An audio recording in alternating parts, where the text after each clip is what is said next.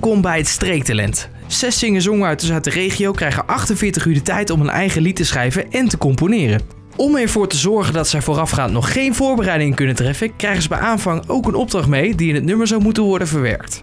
Over zes weken vindt de finale plaats waarin ze het resultaat aan elkaar laten horen. Maar wellicht nog belangrijker, er zal ook een vakkundige jury aanwezig zijn om de nummers te beoordelen. Zij beslissen wie de opdracht het best heeft uitgevoerd en wie voortaan de felbegeerde titel op zijn naam heeft staan: het streektalent.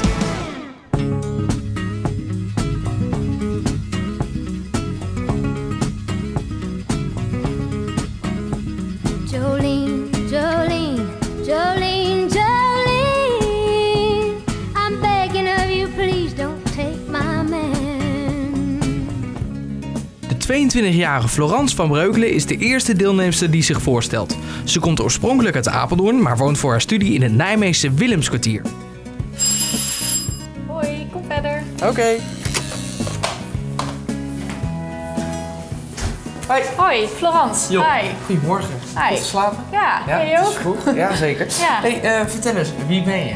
Nou, ik ben Florence. Ik ben eh, 22 jaar en ik woon hier in Nijmegen. En ik schrijf nummers. Ja, en Ja. je hebt je opgegeven voor het streektalent. Ja, klopt. Ja. Zenuwachtig? Ja. Nou, laten we maar gewoon naar binnen gaan. Ja, laten we dat doen. Kom binnen. Said I'll walk you to your car when he walked me to my door. And none of us had really cared that I live on the seventh floor. I blew he stepped in his car and he turned back for people might say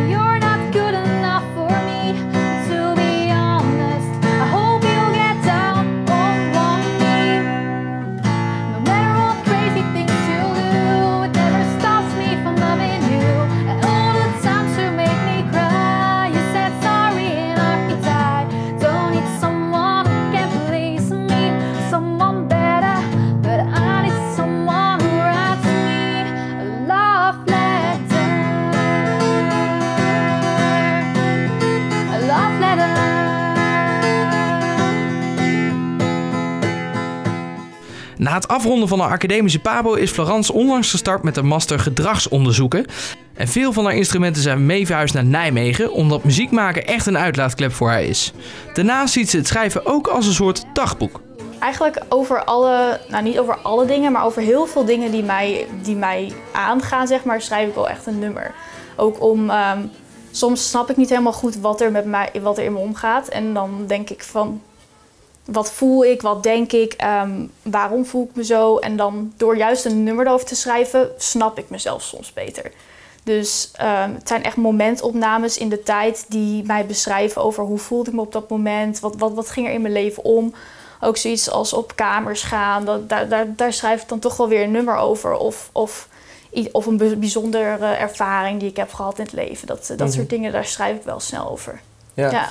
Ehm, nou, stel je ja ook heel erg kwetsbaar op dan. Ja. Als je een lied schrijft. Eh, Laat je het dan ook horen aan, aan andere mensen? Of zijn er toch nummers dat je denkt, ja, het is toch te persoonlijk. Eh, Dat ga ik toch Ehm, niet doen. Ik la- laat vooral vaak eh, horen als ik weet dat mensen toch niet heel goed luisteren. Dat Als mensen gewoon luisteren naar de melodie en naar de muziek zelf, vind ik het veel maar hoe weet je makkelijker. dat? Ja, weet ik niet. Sommige mensen zijn juist heel erg van de tekst en heel erg luisteren van wat zingt ze en waar gaat het over.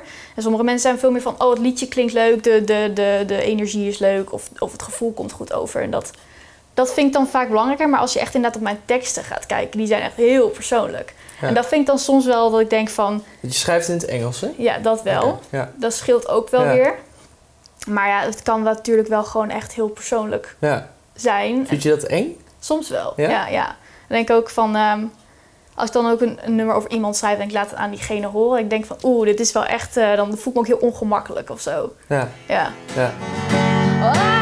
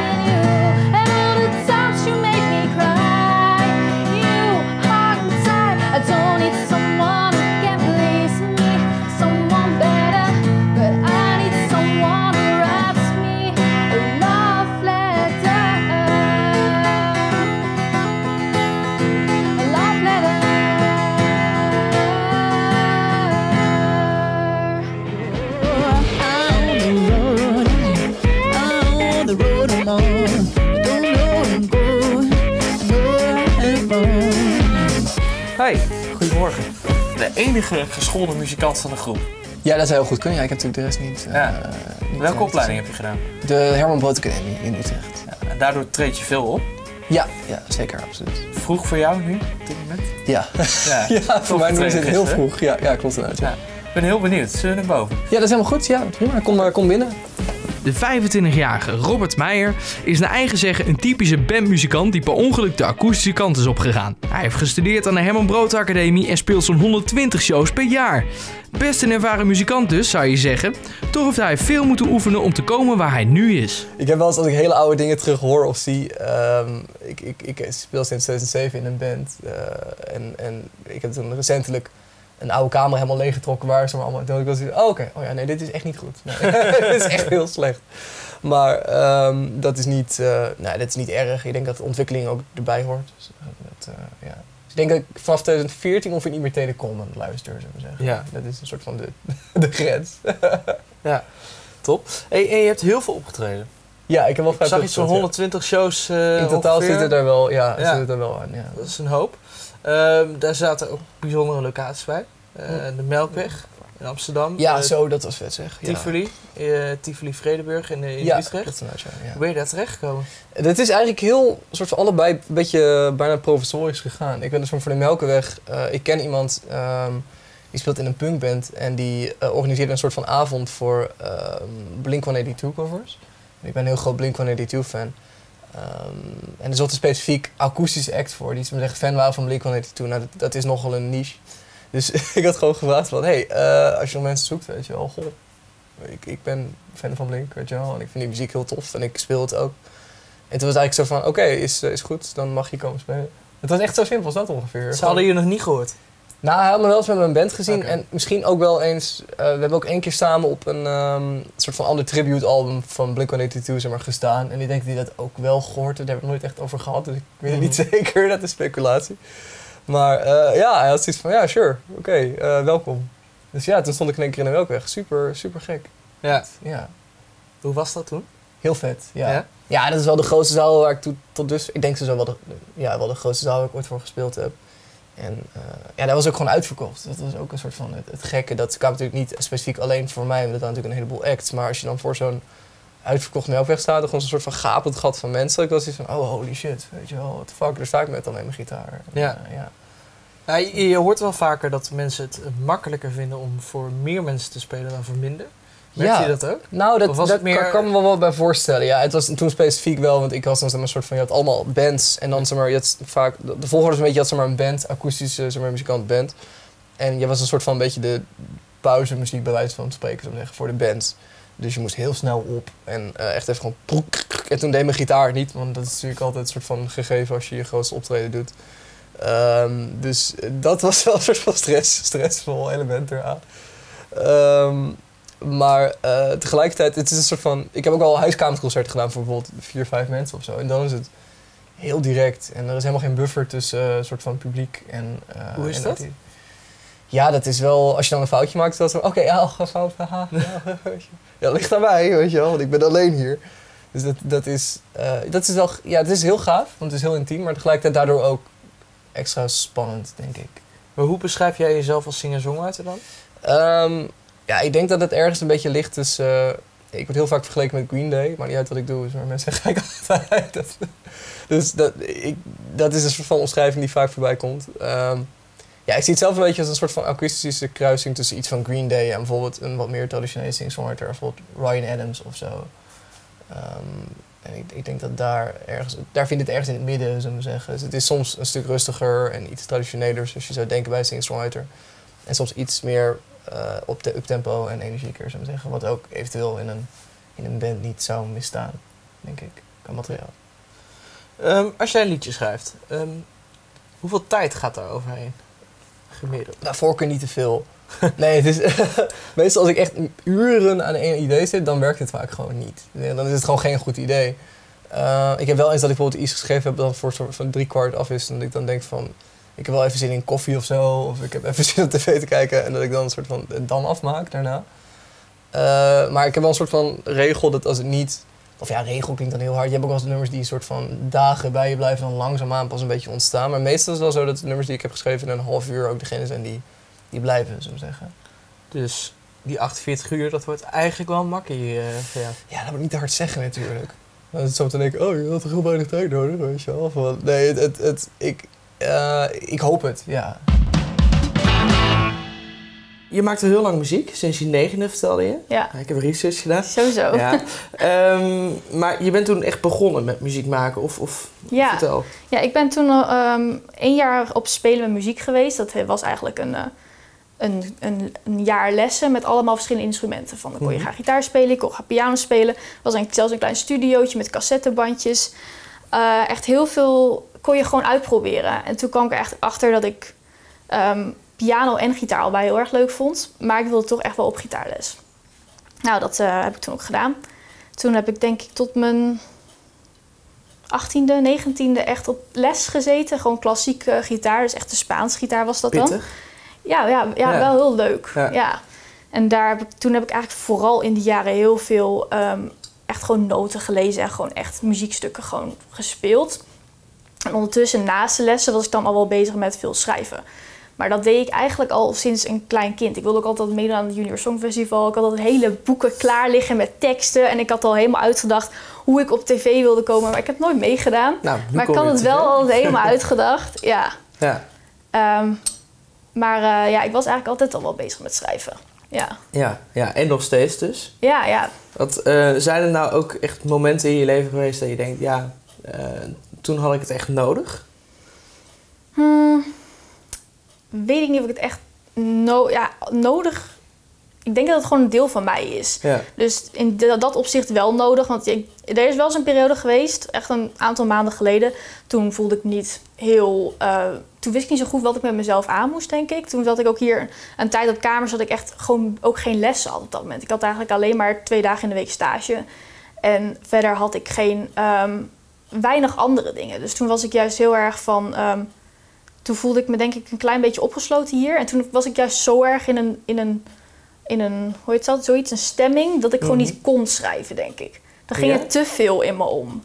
Dus dat, dat soort dingen heb ik dan ook wel Ja. weer gehad in mijn Ja. leven. En dan nu achteraf, toen was het zo'n vakantie. Toen ineens, toen knalde het weer los. Toen kon ik weer ineens, oh, dit gebeurde en dit was er. En dan, dan wordt alles weer logisch. ja. Dat is dan, Maar dat relativeer je eigenlijk van wat er is gebeurd Ja, en en dan pas je- kan je erover schrijven. ja, en dan stap je eigenlijk even een soort van weer uit je situatie of zo. Ik denk dat het dat het is. Ja, Ja, dus ik heb deze zomervakantie wel echt wel veel geschreven. En ook wel veel weer opgenomen. Ja, ja. Want dat neem je zelf op of ga je naar een studio toe? Of, hoe Nee, ik heb eh, thuis dan, ja, nu staat hij in Apeldoorn, een eh, studiomicrofoon. En ik heb een MIDI keyboard. Hier heb ik één staan en, Ja. daar, en ook nog een groot heb ik. Eh, ik nog een, eh, een- een banjo en andere gitaren. En daar, die, die neem ik dan zelf op. En dan zing ik gewoon zelf overheen. Ja, het is niet echt eh, mega kwaliteit, want ik ben niet echt producer, moet ik zeggen. Ja. Maar ik vind het wel gewoon heel leuk om te doen. Want ja, je kunt je liedjes toch wat meer tot leven wekken. En je kunt wat meer diepgang erin brengen. Mhm. En ehm, ja, dan ben ik altijd wel heel erg blij als, als, als ik zoiets heb opgenomen. En ik denk van, oh ja, ja, dit is wat ik hoorde ook in mijn hoofd. Dat, dat is wel altijd wat ik probeer.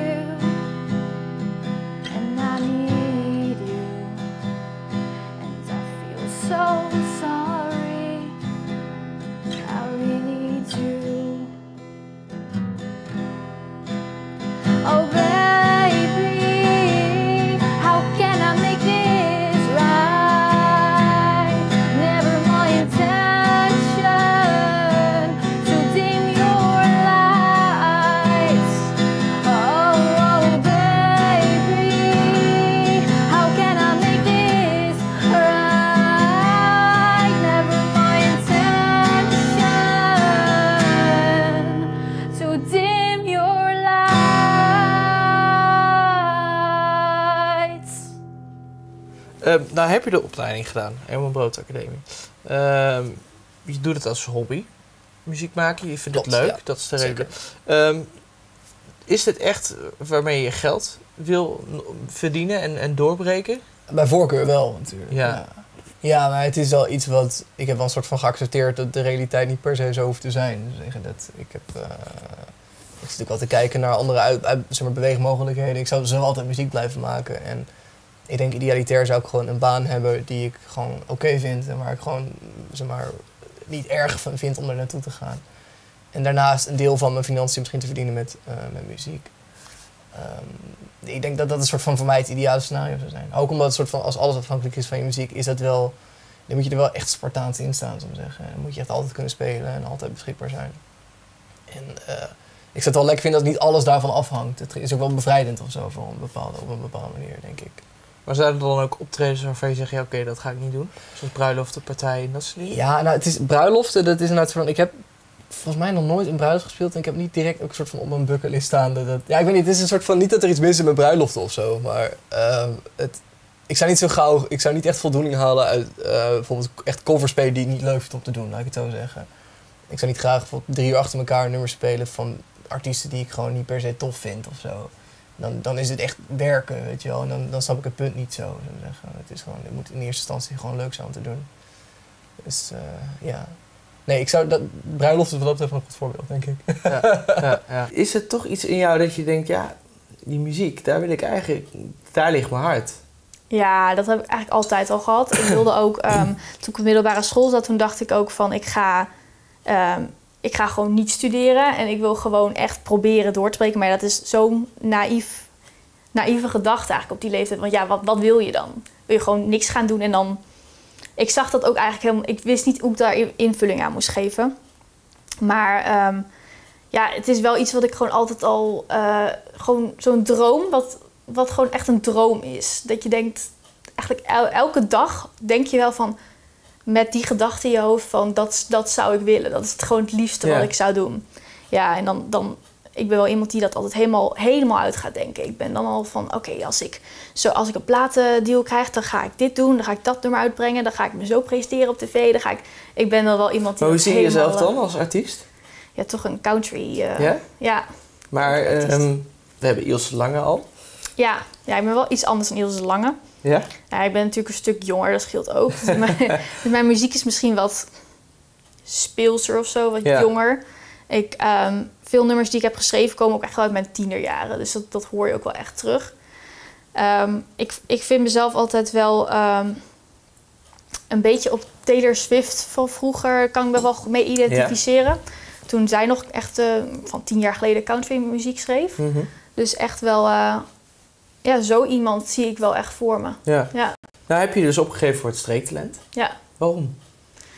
Nou, ik eh, zag dat filmpje voorbij komen, omdat iemand mij daarin had getagd, mijn huisgenoot. En toen had ik zoiets van, ja, niet geschoten is altijd mis. En, want het leek me gewoon heel erg leuk om inderdaad van, ik dacht, het eerste wat ik dacht was een videoclip. Dat is gewoon echt, dat is gewoon iets wat ik altijd al heb willen maken.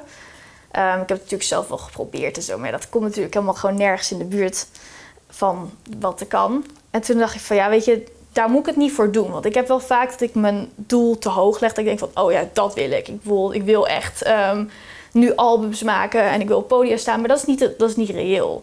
Dus ik dacht, ik doe gewoon mee om Ja, maar het het is mee wel te een doen. droom, toch? Ja, ja, Ja. dat wel. Dus je kan wel naar een droom toeleven, toch? Ja, maar ik ben dan iemand die heel teleurgesteld raakt als het niet Ja. werkt of zo. Dus dan heb ik nu voor mezelf zoiets van... Oké, ik doe mee en dat, dat is al leuk. Ja. Dat is op zich al gewoon een hele ervaring op zich. En dat is ook weer een nieuwe uitdaging.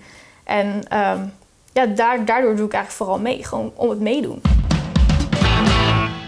Goed, de opdracht. Ja, We gaan iets heel persoonlijks doen. oké. Ehm, iets wat veel of het meeste impact heeft gehad op je leven. Oké, dus dat is een soort van mijn opdracht is dat ik iets moet schrijven over... Ja. Oké, wauw. Oh shit. Oké, nice. Maar dat is wel fijn, want dat is wel een soort van dicht bij huis in ieder geval. Ja? Ja. Jij hebt wel blij dat je niet zegt van je moet eh, zeg maar, gaan schrijven over de Noord-Korea-crisis. Het is wel... Is er, is er iets eh, wat je denkt, nou, misschien ga ik het daarover hebben? Of eh, Ja, ik heb wel wat ideeën, ja, zeker. nu al? Ja, absoluut. Ja, Ja? ja? zeker. Het onderwerp is dus iets wat heel veel impact heeft gehad op je leven. Oh. Oké, dus wel persoonlijk. Het is heel persoonlijk. Ja. Ja, het mag, eh, ja, het, het mag over van alles gaan, maar echt wat het meeste impact heeft gehad op je leven. Oké, ja. Heb je al iets in gedachten? Wat, wat er, ja, Eigenlijk niet. nee, Nee, er zijn heel veel dingen die natuurlijk wel impact op je hebben en die je vormen als persoon. ja, Dus ik zit nu echt te denken van jeetje, waar, wat, waar, waar ga ik het over schrijven? ja. Ja. Moet ik zeggen wat het is? Of is het zo? Ja, nou, ik ben wel benieuwd. Nou, het is... ehm, ja, ik, te denken, ik denk soort van... Ik heb wel een periode gehad dat het wat minder goed... Ik heb zeg maar tinnitus ontwikkeld een paar jaar geleden. Eh, ik weet niet of je weet wat dat is. Nee. Zeg maar gesuis in je oor, zou ik zeggen. Oké. Zeg maar een soort van constant gesuis in je oor. Ehm, en dat heeft toen wel een soort van door een best wel taaie periode heen gesleept, zou ik zeggen. Ik denk dat dat wel een soort van de meest definiërende tijd is die ik kan, kan bedenken. Zo. eh, in mijn leven. Dus ik denk dat het ergens daarover zal gaan. Ja. Dat is wel het- het eerste waar ik aan dacht toen ik de opdracht hoorde. Ja. Dus eh, ja. Ga je er moeite mee hebben, denk je, met, met het proces van schrijven ehm, ja, in het programma? Ja, aan de ene kant denk ik van niet, omdat schrijven voor mij heel natuurlijk is. En het echt iets is wat bij mij hoort. Dus ehm, ja, schrijven gaat voor mij over het algemeen heel snel. Ik kan gewoon ehm, vaak beginnen met de tekst of ik begin met de melodie. En dat proces gaat wel snel, omdat ja, dat komt gewoon echt van binnenuit. Maar dan, zoals vandaag, heb ik ook veel andere activiteiten, zoals colleges, barbecue, frisbeeën met, eh, met, de met, met de klas dan, zeg maar. Het wordt even een nachtje doorhalen. Ja, ja, ik hoop het eigenlijk niet. ja. ik zou lekker, want morgen moet ik ook gewoon weer de hele dag naar school. Ja. Ja, maar ik vind het wel een moeilijk onderwerp hoor.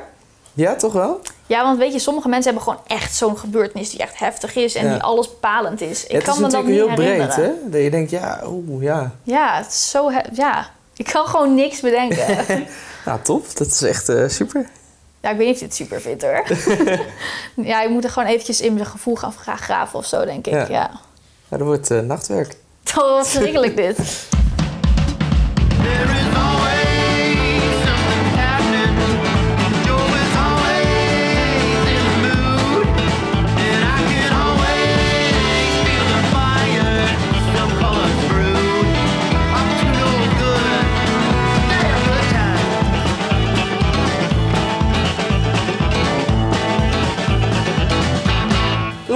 Hey, hallo. ja, goedemiddag inmiddels. Ja, ja, zeker, ja. Hoe gaat het? Ja, goed. Het gaat wel lekker eigenlijk. Ja? Het proces gaat best wel, eh, best wel soepel eh naar omstandigheden.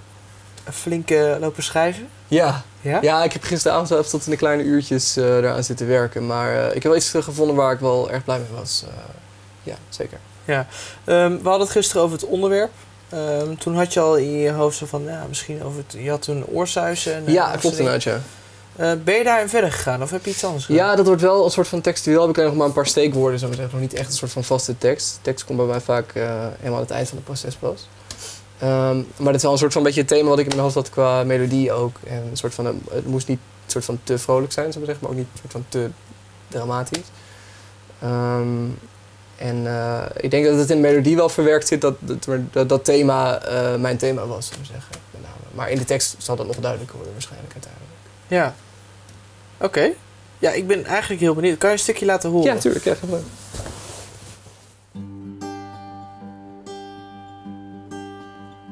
If I can explain this, where you, where you have to go, oh, but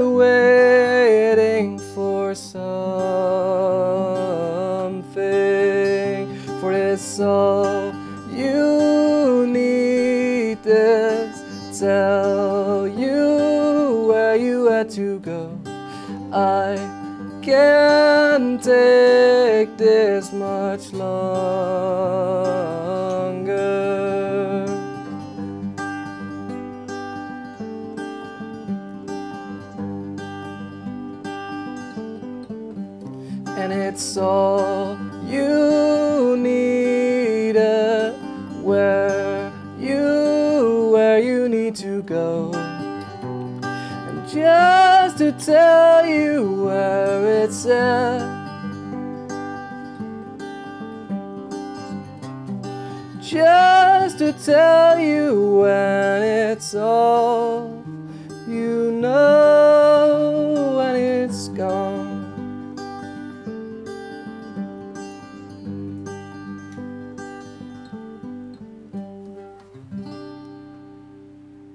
Dat is hoe ver ik tot dusver was. Ja, super.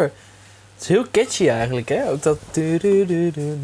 Ja, het is Ja. eigenlijk, eigenlijk een beetje de hele tijd een soort van dezelfde, dezelfde lik, we zeggen, op de gitaar. De lik. Ja, licks noem je dat geloof ik toch? Ja, ik weet niet. Het klinkt, eh voor mij is het een soort van een klein stukje wat je speelt tussen de akkoorden door. Ja, Ik weet niet, ik gebruik die term zelf niet heel vaak. Oké. ik vond dit het moment om het te introduceren. Ja, ik ben wel heel benieuwd ehm, hoe dat dan, dat proces gaat. Je pakt je gitaar Ja, en dan begin je gewoon maar wat te spelen. ja, meestal wel. Ja, meestal ga ik gewoon een beetje akkoorden strummen en dan wel een beetje meezingen. Hoe gaat dat dan? Kan je, wat- kan Ja, je meestal als ik zo bijvoorbeeld aan het schrijven ben, dan... ehm, nou, nu bijvoorbeeld dan in, in Dead Cat, dan...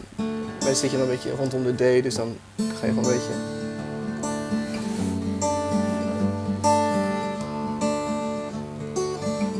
En dan ga je gewoon een beetje kijken in de... Zeg maar,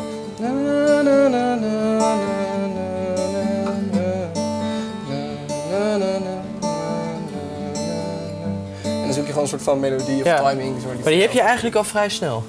ja, ik heb wel een soort van in mijn hoofd, altijd wel een soort van, als ik een akkoord hoor, heb ik vaak wel een beetje een soort van toonladder in, in mijn hoofd bij, zullen we zeggen. Van dit zou een leuke melodie erbij zijn en dit, dit, dit klopt wel op zijn weg en dit klopt niet.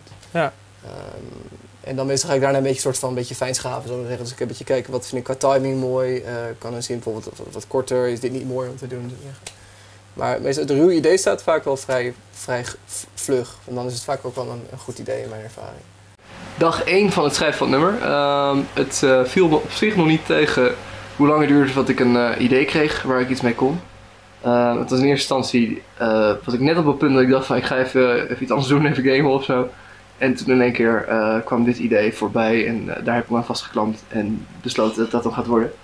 Eh, nu nog een vaste structuur uitschrijven voor eh, welk stuk wanneer komt en de tekst natuurlijk. En eh, dan ben ik in principe al een heel eind denk ik. Dus eh, ja, ga het zien. Hey, ik wens jou heel veel succes. Ja, dankjewel. De komende Ja. 24 uur. Ja, Gaat het lukken? even. Ja, dat gaat wel lukken, denk ik. Ja. Dus het, is, ehm, het is nu met name tekst, denk ik. Ik zal iets aan de structuur van de nog en daar moeten, moeten schaven. Maar ik, eh, ik moet niet te veel over zeggen, dan jinx ik mezelf misschien. Maar ik denk, ik denk dat het misschien wel goed komt. Ja. Ga je Dat winnen? is een heel voorzichtig antwoord hoor. Ik denk dat het misschien wel goed komt. Ja. Ga ik winnen, jezus. Ja, dat kan ik echt niet zeggen. Ik heb geen idee wie er meedoen natuurlijk. Ja. En eh, hoe goed die mensen zijn. En dus dat, ja, dat durf ik. eh, eigenlijk moet ik altijd zeggen, ja, weet je wel. Ja, ik, ik, precies. ik weet het echt niet. Overtuigd. Ja, Lijkt me leuk. Lijkt me Ja, wel heel tof. ja. Dat wel. top. Ik zie je morgen. Ja, tot morgen. Nou, dan eh, tot dan. Yes. Voor zowel Robert als Florence is het schrijfproces in volle gang. Volgende week zien we of het hen gelukt is om het nummer in zijn geheel af te krijgen binnen 48 uur. En hoor je ook de eerste twee finale nummers van het Streektalent 2018. Dag 2 van het schrijfproces. Eh, het nummer is al aardig eh, tot vorm aan het komen. Ik heb hier een klein stukje van de structuur opgesteld, zodat ik niet vergeet welk stuk wanneer komt. Ehm, ja, het eigenlijk valt me tot dusver niet tegen hoe eh, moeizaam het gaat om een idee te schrijven op korte termijn. Ehm, ik heb wel zoiets van, stel dat je geen inspiratie zou hebben, en dat zou gewoon zo qua kunnen gebeuren, dan zou je best wel een beetje vast kunnen zijn. Dus ik ben wel blij dat, dat ik iets gevonden heb waar ik, waar ik iets mee kan en waar ik blij mee ben. En eh, ik ga het nu verder uitwerken, de tekst uitschrijven. ehm, en eh, proberen dat mooi te laten matchen op de muziek. En dan eh hoef ik hem eigenlijk alleen nog maar in te.